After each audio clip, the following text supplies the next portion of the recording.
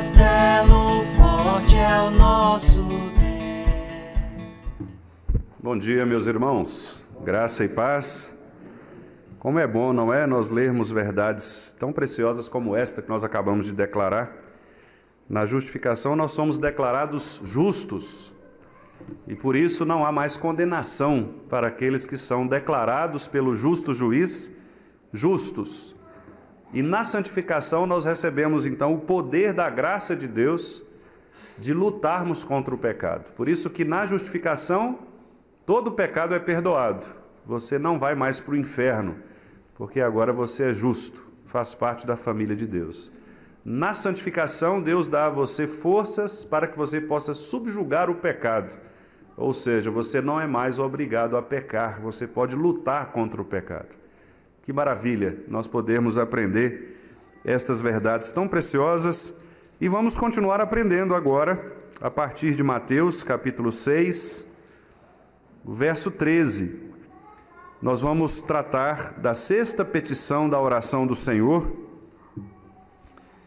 E na verdade, hoje nós vamos fazer a, uma primeira exposição acerca desta sexta petição com a graça de Deus, nós faremos outras também para que possamos abordar outros aspectos.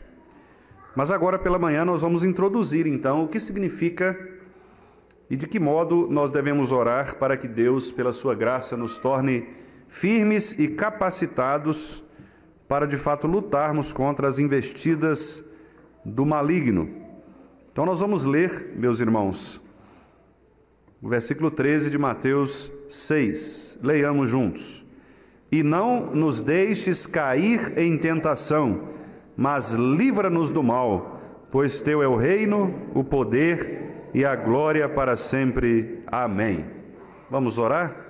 Senhor nosso Deus, muito obrigado, porque o Senhor traz agora a oportunidade de podermos abrir a tua santa palavra e sermos divinamente instruídas por ela, instruídos por ela por meio do Santo Espírito de Cristo que inspirou este texto e que agora nos ilumina para que possamos entendê-lo de modo produtivo, proveitoso para as nossas vidas. Ó Deus, pela tua misericórdia e graça, nós te pedimos que o Senhor nos ajude a encontrarmos aqui neste texto tão precioso desta oração que nos foi ensinada por teu filho, a motivação correta para lutarmos contra Satanás, contra o mundo, contra a nossa carne, a fim de que, ó Deus, possamos vencer as investidas do maligno, lutando, ó Pai, contra as tentações que vêm contra nós. Que o Senhor, pela tua graça, nos abençoe, que o Senhor nos ajude. É o que te pedimos em nome de Jesus. Amém.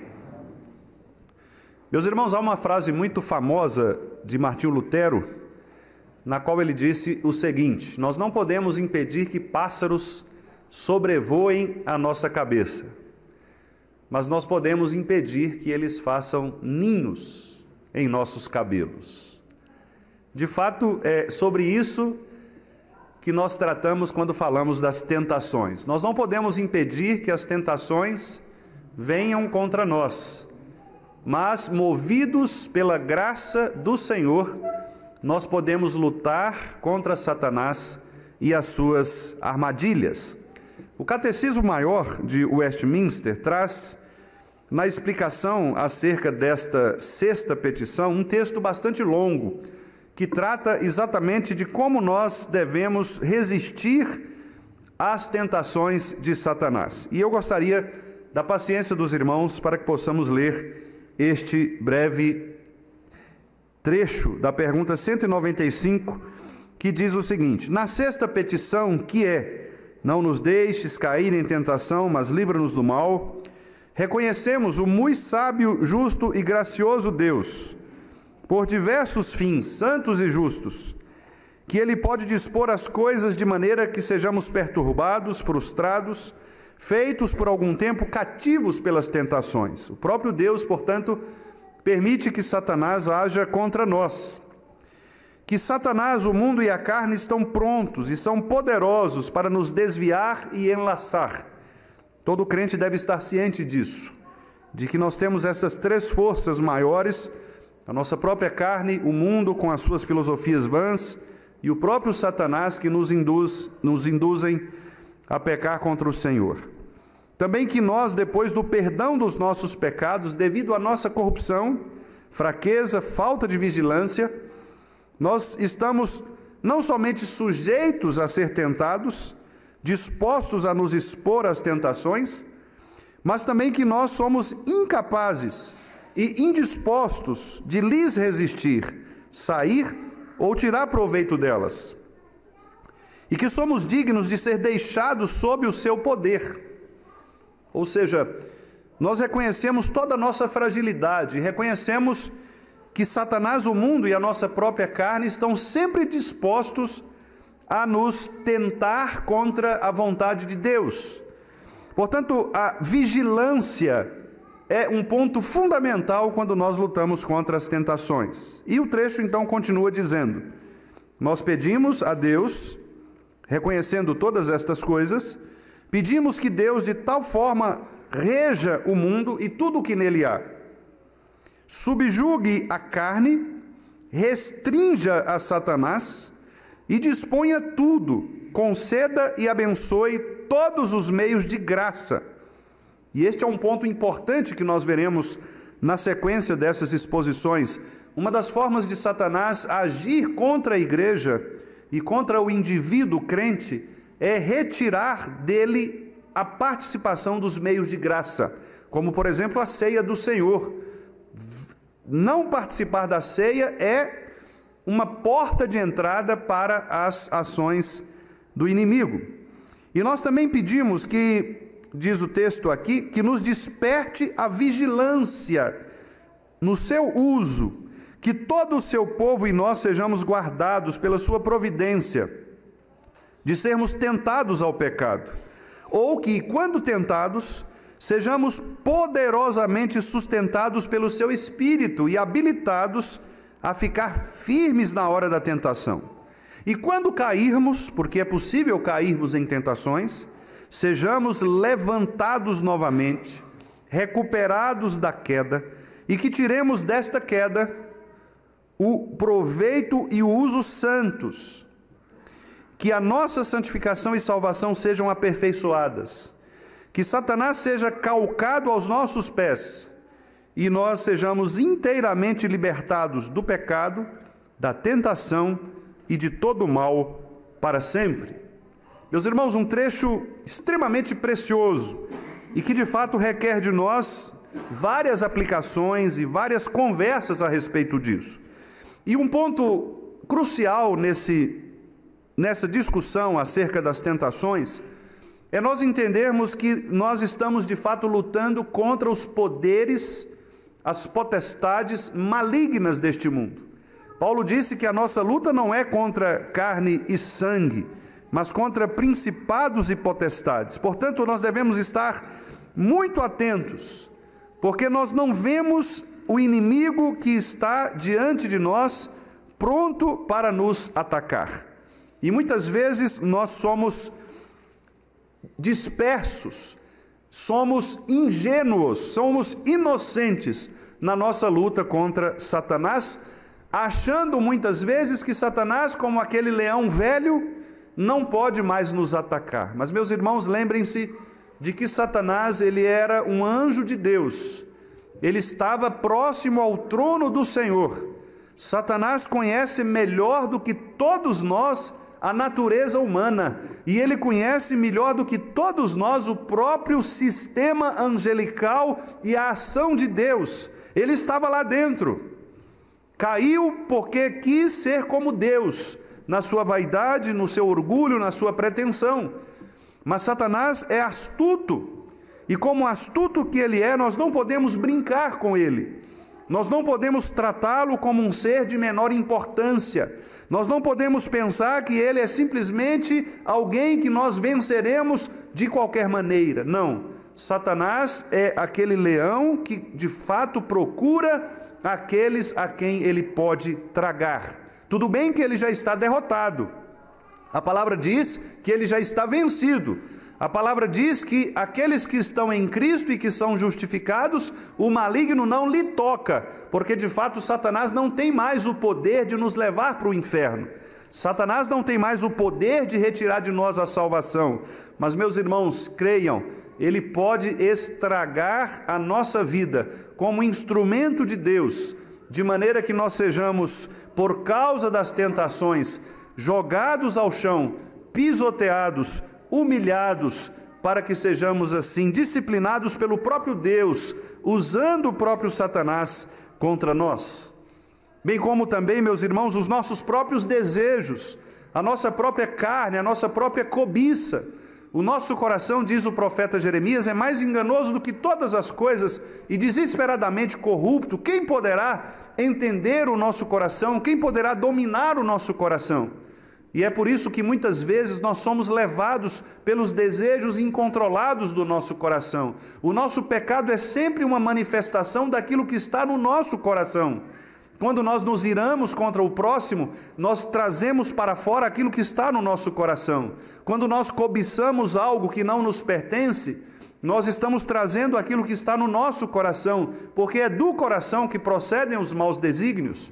Portanto, todo pecado é de fato algo que produz, que é produzido no coração e de lá brota, de lá floresce, de lá ele toma vida e assim externamente ele se manifesta.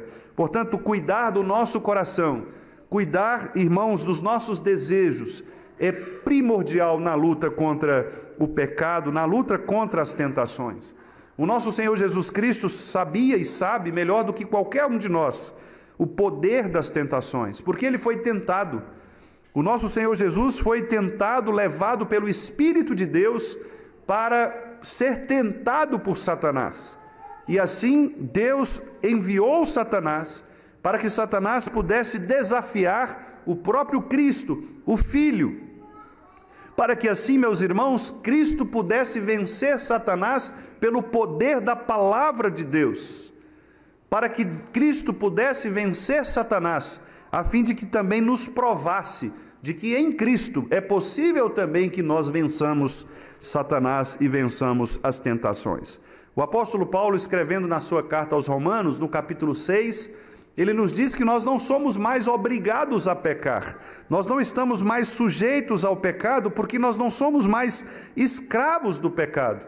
E por não sermos escravos do pecado, nós temos agora a liberdade, na força do Espírito de Cristo, de não mais sermos arrastados pelas tentações. Veja o que Paulo diz aqui no capítulo 6 de Romanos. Ele começa dizendo: O que diremos, pois? Permaneceremos no pecado para que a graça seja mais abundante? Não, de modo nenhum. Como viveremos ainda no pecado, nós os que para ele morremos? Nós morremos para o pecado, não somos mais escravos do pecado. Lá no versículo 7 ele diz: Porque quem morreu está justificado do pecado. Ora, se já morremos com Cristo, cremos que também com ele viveremos sabedores de que, havendo Cristo ressuscitado dentre os mortos, já não morre, a morte já não tem domínio sobre ele. Pois quanto a ter morrido, de uma vez para sempre morreu para o pecado, mas quanto a viver, vive para Deus. E assim ele diz, meus irmãos: assim também vós, nós, meus irmãos, considerai-vos mortos para o pecado mas vivos para Deus em Jesus Cristo. E no versículo 12, então, ele diz: Não reine, portanto, o pecado em vosso corpo mortal, de maneira que obedeçais às suas paixões. E o versículo 14: Porque o pecado não terá domínio sobre vós, pois não estáis debaixo da lei, e sim da graça. Com isso, o apóstolo Paulo então quer nos dizer que nós fomos libertados do pecado. E uma vez libertados do pecado, nós não somos mais obrigados a pecar.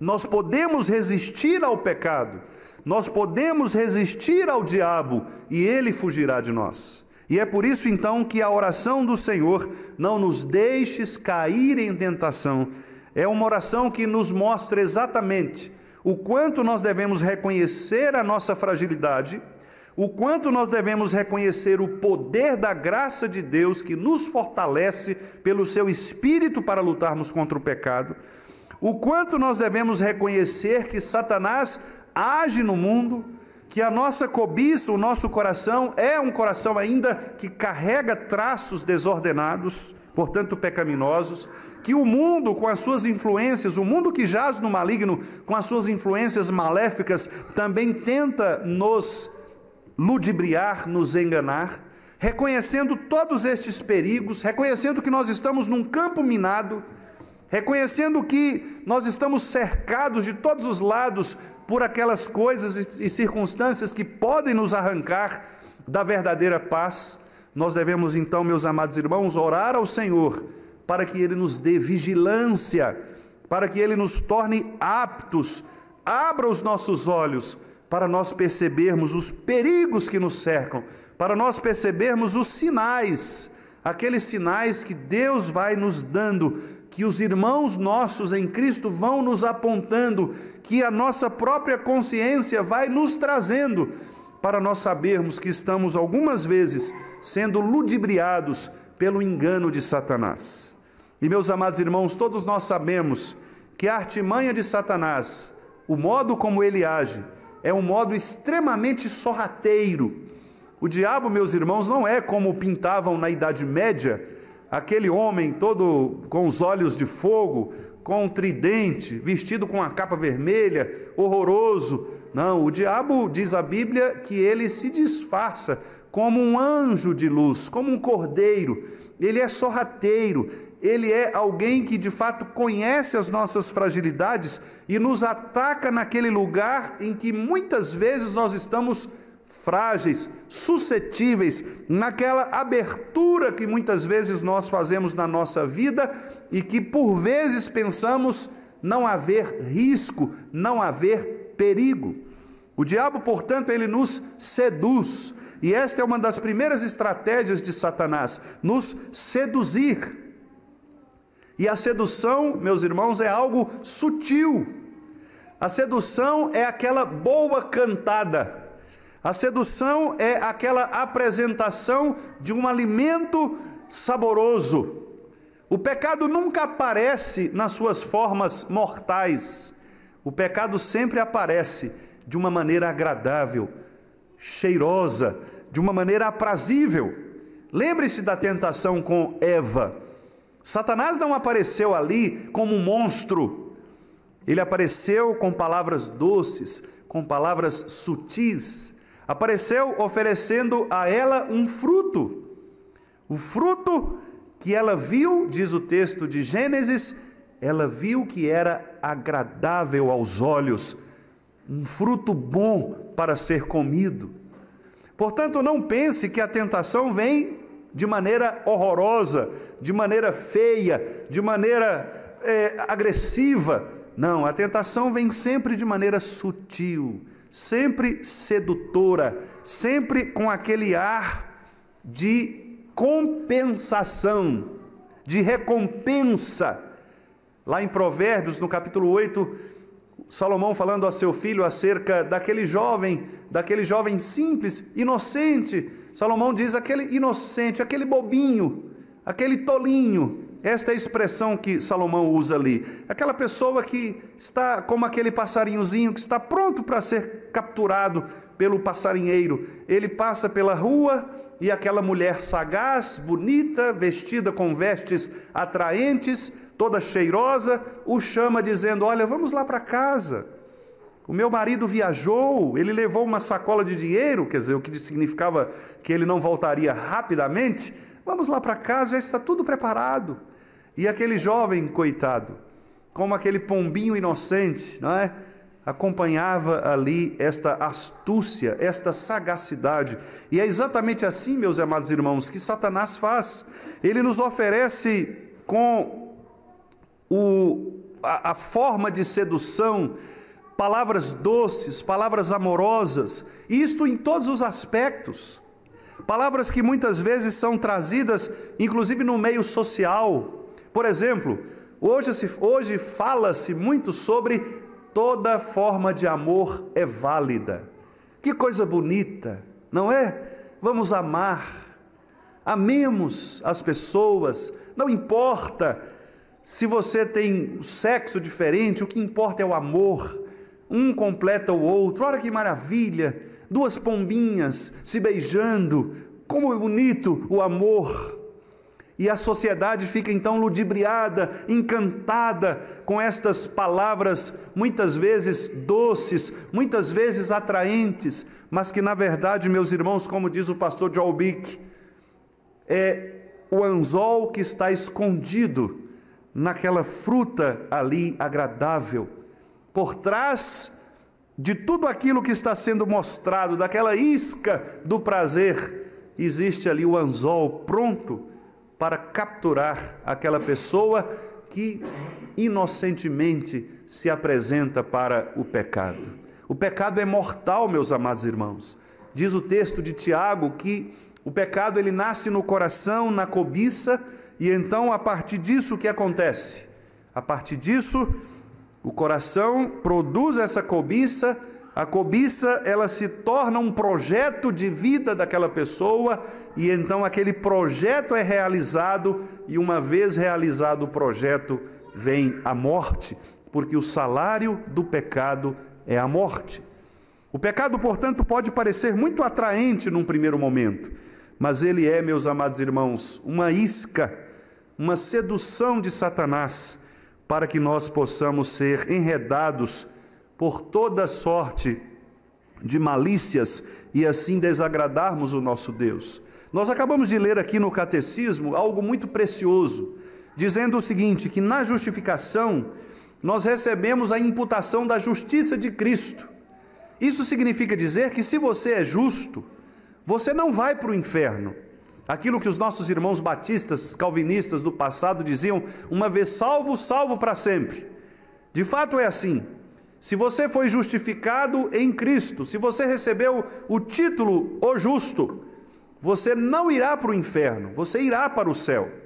Mas ao mesmo tempo, os nossos irmãos puritanos, sabiamente, relatando aquilo que está na Bíblia, disseram: Mas na santificação, na santificação, é o momento em que o pecado é subjugado, ou seja, enquanto a justificação é uma declaração de Deus a nosso favor, nos tornando justos, na santificação é uma resposta nossa a Deus, de que uma vez que nós somos justos, nós agora vamos lutar contra o pecado e contra as tentações de Satanás.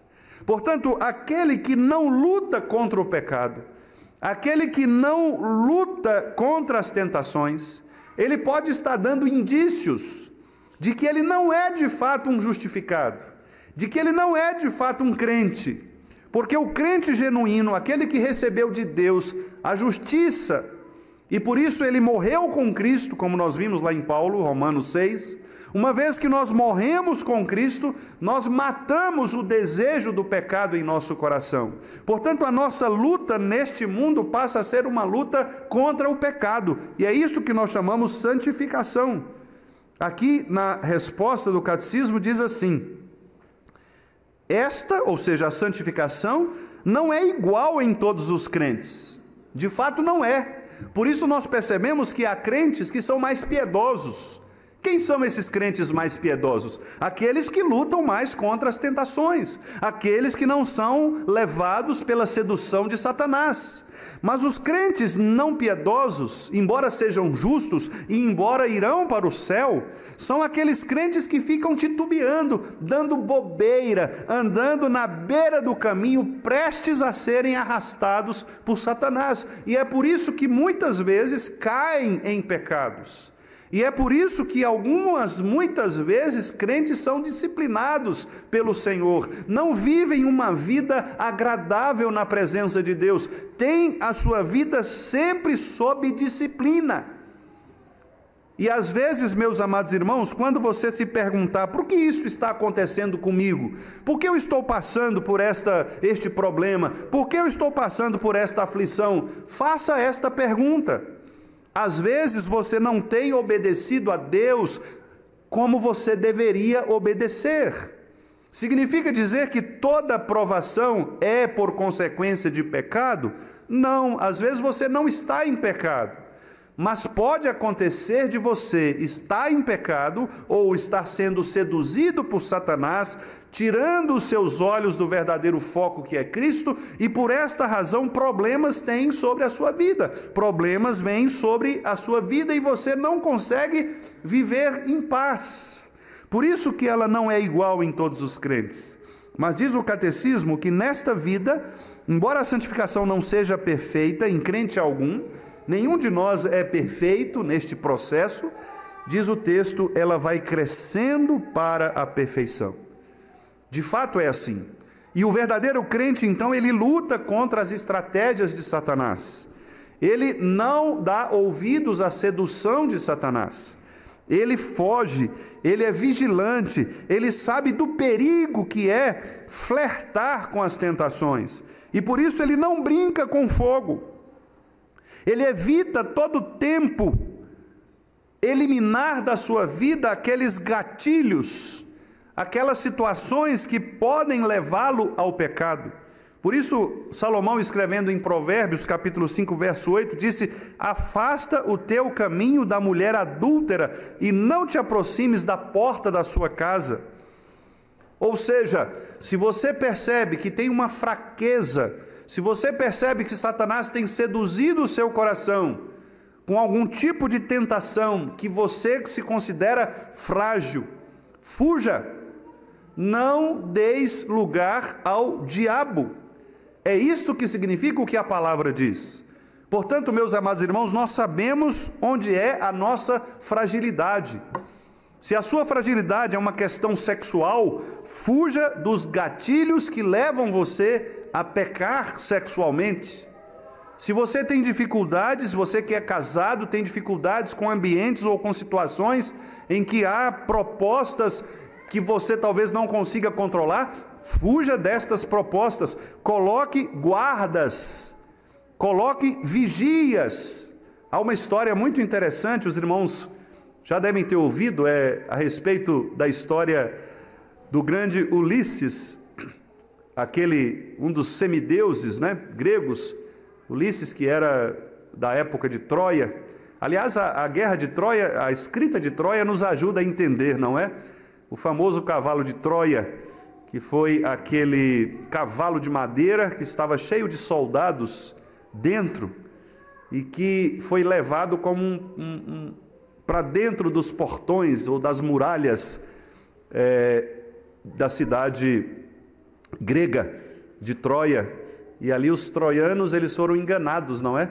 Eles foram enganados porque eles acharam o cavalo, acharam bonito o cavalo, mas de repente os soldados inimigos saíram de dentro do cavalo e atacaram a cidade e colocaram por terra a cidade, né? Atingindo ali o calcanhar do grande Aquiles, né? o semideus grego que morreu com a flechada no calcanhar. Por isso a, o, o, ditado calcanhar de Aquiles, né? É o lugar da nossa fragilidade. Mas Ulisses diz, o, o a, diz a história que ele navegando é, passava por um lugar em que no mar havia sereias e essas sereias cantavam, provocando Ulisses. E ele estava pronto a pular para seguir a sereia. O problema é é que se ele pulasse, as sereias iriam matá-lo. Porque as sereias, embora bonitinhas e embora com os cantos atraentes, elas eram meio más, né? Então, afogariam Ulisses. Sabendo disso, os seus companheiros de navio amarraram Ulisses no mastro do navio. Pegaram Ulisses e enrolaram Ulisses no mastro para que ele ficasse ali ouvindo o canto, doido para pular, mas não conseguia pular. Era o cuidado daquela família que estava ali com ele, para que ele não pecasse.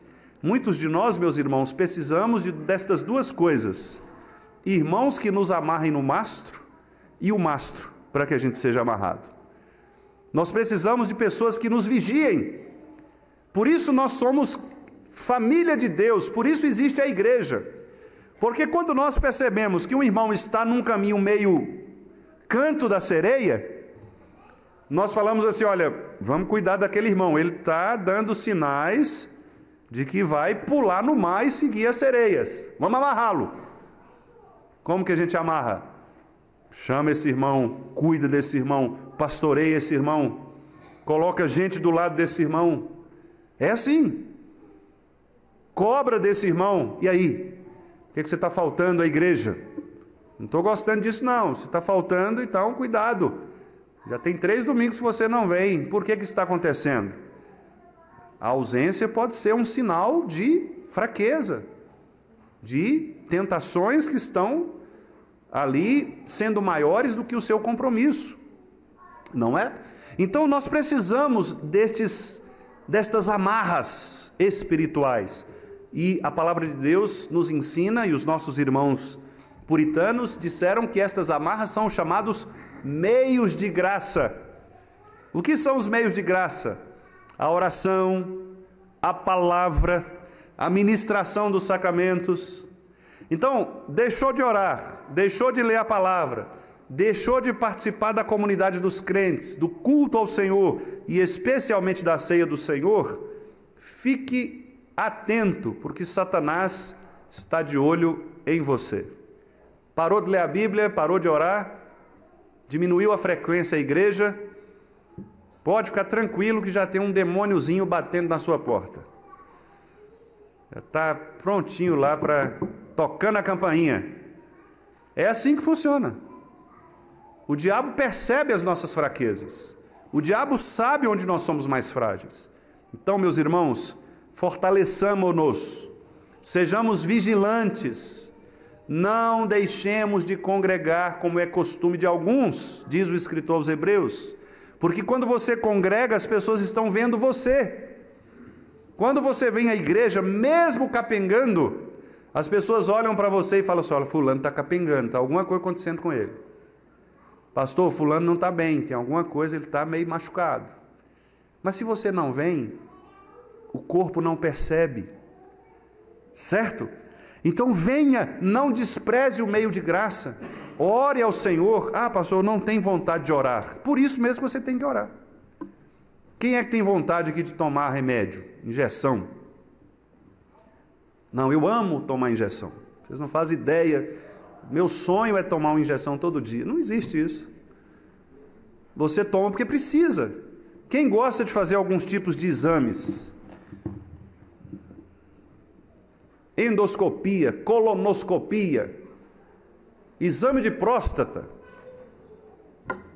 Eu nunca vi. Pastor, eu amo fazer exame de próstata. O senhor não imagina, seis em seis meses eu vou no meu médico. Não existe isso. Por que, que nós fazemos? Por causa da necessidade. Então, se você não quer orar, ore. Peça a Deus, Senhor, eu estou com dificuldade, eu não estou conseguindo orar. Ore, Deus vai dar a você o prazer Lembre-se de Davi que muitas vezes dizia: Senhor, onde é que o Senhor está? O Senhor esconde de mim o rosto. Porque naqueles momentos Davi estava passando por essas situações que nós passamos, de desânimo, de depressão espiritual. Mas no entanto ele estava ali o tempo todo, algumas vezes até reclamando do próprio Deus, dizendo: Senhor, o Senhor se esqueceu de mim. Claro que Deus não tinha se esquecido dele, mas por causa dos seus pecados, por causa da sua depressão espiritual, ele achava isso. Mas mesmo assim ele clamava ao Senhor: Senhor, estou aqui, me ajuda, ajuda-me na falta de fé, como disseram os discípulos, ajuda-nos, Senhor. Nós não estamos conseguindo crer, ajuda-nos na nossa falta de fé.